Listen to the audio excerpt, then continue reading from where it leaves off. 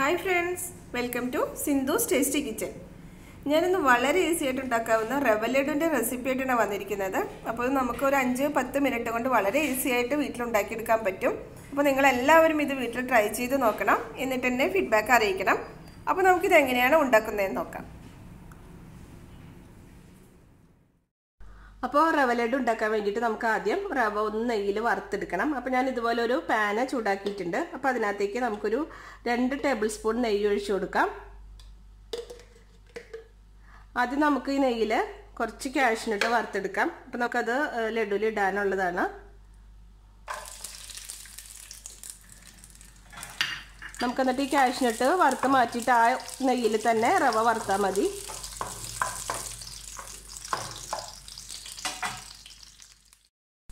ഇപ്പോൾ ക്യാഷിനിട്ട് നന്നായിട്ട് ഫ്രൈ ആയിട്ടുണ്ട്. നമുക്കിതൊരു പാത്രത്തിലേക്ക് മാറ്റാം.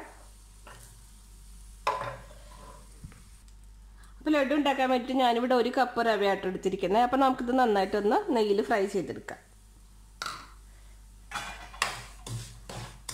അപ്പോൾ ഇത് റോസ്റ്റഡ് റവയാണ്. എന്നാലും നമുക്ക് ഇത് ലഡു ഉണ്ടാക്കാൻ വേണ്ടിയിട്ട് നന്നായിട്ട് വറുത്തെടുക്കണം. അപ്പോൾ വറുത്ത റവയാണെങ്കിലും വറുക്കാത്ത റവയാണെങ്കിലും ഇതുപോലെ നന്നായിട്ടൊന്ന് ഫ്രൈ ചെയ്തെടുക്കാം.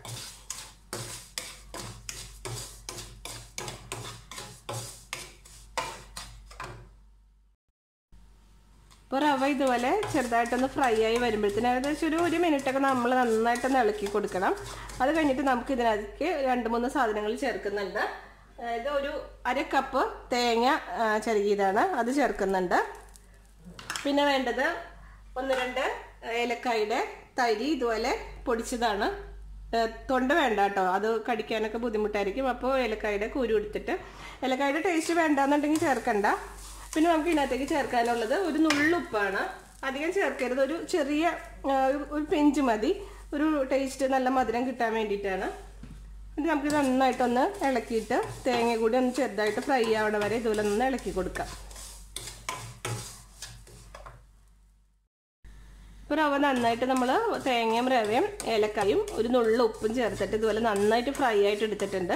അപ്പോൾ അധികം കളർ മാറണ വരെ ഒന്നും വറക്കണ്ട കേട്ടോ. ഒരു മൂന്നോ നാല് മിനിറ്റ് നന്നായിട്ടൊന്ന് ഇളക്കി കൊടുത്താൽ മതി. അപ്പോൾ നമുക്കിനി ഇതൊരു പാത്രത്തിലേക്ക് മാറ്റാം. അപ്പോൾ ഇത് ഇതുപോലെ ഒരു പാത്രത്തിലേക്ക് മാറ്റിയിട്ടുണ്ട്. ഇതൊന്ന് ചെറുതായിട്ടൊന്ന് ചൂടാറി കഴിയുമ്പോൾ നമുക്ക് മിക്സിയുടെ ജാറിലിട്ട് ഒന്ന് കറക്കിയെടുക്കാം. ഒരുപാട് അടിക്കേണ്ട. ഒന്ന് കറക്കിയാൽ മതി. അപ്പോൾ ഈ ഇതെല്ലാം കൂടി നന്നായിട്ടൊന്ന് തേങ്ങയും റവയും ഏലക്കായും എല്ലാം കൂടി നന്നായിട്ടൊന്ന് ബ്ലെൻഡ് ആവാൻ വേണ്ടിയിട്ടാണ്. അപ്പോൾ ഒരു ഒന്ന് കറക്കിയെടുക്കുക ഒരു മിക്സിയുടെ ജാറിലിട്ടിട്ട്. അപ്പോൾ റവ തേങ്ങയും കൂടി ഇതുപോലെ ഒന്ന് അടിച്ചെടുത്തിട്ടുണ്ട്. ഒന്ന് കറക്കിയെടുത്തിട്ടുള്ളൂ കേട്ടോ. ഒരുപാട് പൊടിയാക്കണ്ട. ഇനി നമുക്ക് ഈ പാനിൽ തന്നെ പാൻ ചൂടാകുമ്പോൾ ഒരു കാൽ കപ്പ് പാലൊഴിച്ച് ഒന്ന് തിളപ്പിച്ചെടുക്കാം. അപ്പം ഞാനിപ്പോൾ കാൽ കപ്പാണ് ചേർക്കുന്നത്. നമുക്കിത് ലഡു ഉണ്ടാക്കുമ്പോൾ വെള്ളം പോരെങ്കിൽ അന്നേരം പാലൊഴിച്ച് കൊടുത്താലും മതി. നമുക്ക് കളറിന് വേണ്ടിയിട്ട് ഞാനൊരു ഇത്തിരി മഞ്ഞൾപ്പൊടി ഇടുന്നുണ്ട്. മഞ്ഞൾപ്പൊടി അല്ലെങ്കിൽ യെല്ലോ കളർ എന്ത് വേണമെങ്കിലും ചേർക്കാം. ഇത് ഒരു ഒരു നുള്ളു ഇട്ടാൽ മതി കേട്ടോ അധികം ഇട്ട് കഴിഞ്ഞാൽ മഞ്ഞൾപ്പൊടിയുടെ ടേസ്റ്റ് വരും. അപ്പോൾ നമുക്കിത് നന്നായിട്ടൊന്ന് ഇളക്കി കൊടുക്കാം. എന്നിട്ട് നമുക്ക് ഇതിനകത്തേക്ക് ഇതിനകത്തേക്ക് ആവശ്യമായിട്ടുള്ള മധുരം ചേർത്ത് കൊടുക്കുക അപ്പം ഞാനിവിടെ ഒരു മുക്കാൽ കപ്പ് പഞ്ചസാര ഇടുന്നുണ്ട്. അപ്പം നിങ്ങൾ മധുരം നിങ്ങളുടെ മധുരത്തിനനുസരിച്ച് ഇട്ടാൽ മതി കേട്ടോ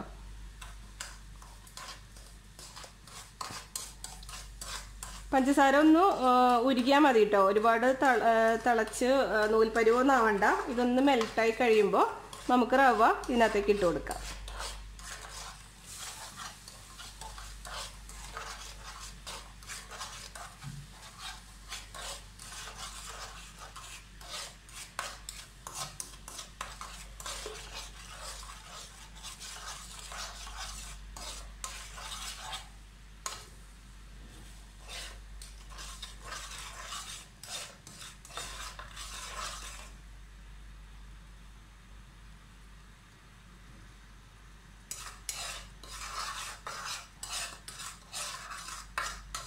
അപ്പോൾ പഞ്ചസാര ഒന്ന് ഉരുകി വന്നിട്ടുണ്ട്. നമുക്ക് ഈ റവ ഇതിനകത്തേക്ക് ചേർത്ത് കൊടുക്കാം.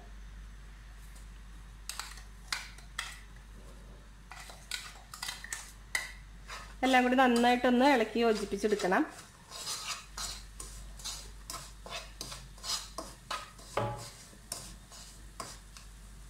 സ്റ്റവ് ഓഫ് ചെയ്യാം കേട്ടോ ഈ സമയത്ത്. ഈ സമയത്ത് നമുക്ക് ഇതിനകത്ത് വറുത്ത് വെച്ചിരിക്കുന്ന കാഷ്നട്ടും കൂടി ചേർത്ത് കൊടുക്കാം കേട്ടോ.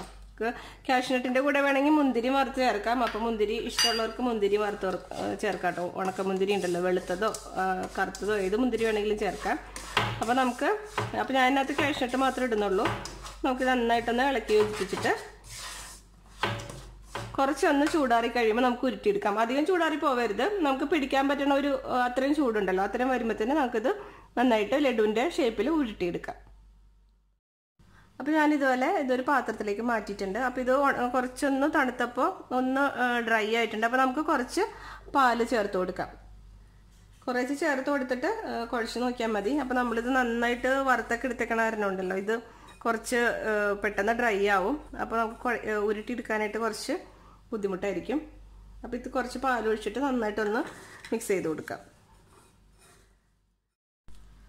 ഇതുപോലെ നമ്മുടെ പാകത്തിനുള്ള ഉരുളകളായിട്ട് ഉരുട്ടിയെടുക്കാം. അപ്പോൾ ഇടയ്ക്ക് കൈ ഒന്ന് നെയ്യ് പൊരിട്ട് അല്ലെങ്കിൽ വെള്ളത്തിലൊന്ന് നനച്ചാൽ മതി കേട്ടോ കയ്യിൽ ഒട്ടിപ്പിടിക്കാതിരിക്കാൻ വേണ്ടിയിട്ട്. കണ്ടോ? അപ്പോൾ ഇതുപോലെ നമുക്ക് നല്ല ഷേപ്പിലുള്ള ലഡു ഉണ്ടാക്കിയെടുക്കാം.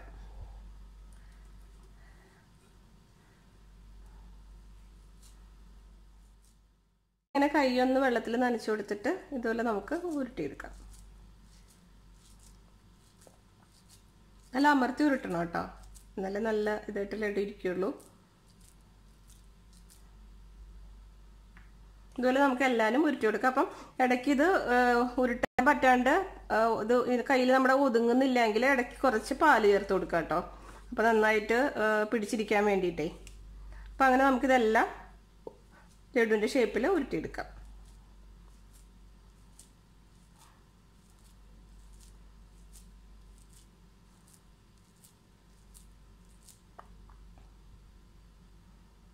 നമ്മൾ ഉരുട്ടിയെടുത്തിട്ട് ഒരു രണ്ട് ഒന്ന് രണ്ട് മണിക്കൂർ കഴിഞ്ഞിട്ട് ഇത് ഉപയോഗിക്കാൻ പറ്റുള്ളൂ പാടുള്ളൂ കേട്ടോ. അപ്പം എന്നാലേ ഇത് നന്നായിട്ട് അത് സെറ്റ് ആവുള്ളൂ. അത് തന്നെയല്ല ഇതിനൊന്ന് പാലിലൊന്ന് സോക്കായിട്ടേ നല്ല ടേസ്റ്റിലൊക്കെ വരും. അപ്പോൾ നമ്മുടെ റവ ലഡു ഇതുപോലെ നല്ല ടേസ്റ്റിൽ റെഡി ആയിട്ട് വന്നിട്ടുണ്ട്. അപ്പോൾ അത് നമുക്ക് ഉണ്ടാക്കാനും വളരെ എളുപ്പമാണ്. കുറച്ച് ഇൻഗ്രീഡിയൻസും മതി. അപ്പോൾ പെട്ടെന്ന് ഉണ്ടാക്കിയെടുക്കാവുന്ന നല്ലൊരു സ്വീറ്റാണിത് അപ്പോൾ എല്ലാവരും ഇത് വീട്ടിൽ ട്രൈ ചെയ്ത് നോക്കിയിട്ട് എന്നെ ഫീഡ്ബാക്ക് അറിയിക്കണം. അപ്പോൾ നമുക്ക് ഇനിയും ഇതുപോലുള്ള ഈസി റെസിപ്പീസുമായിട്ട് വീണ്ടും കാണാം. Thank you.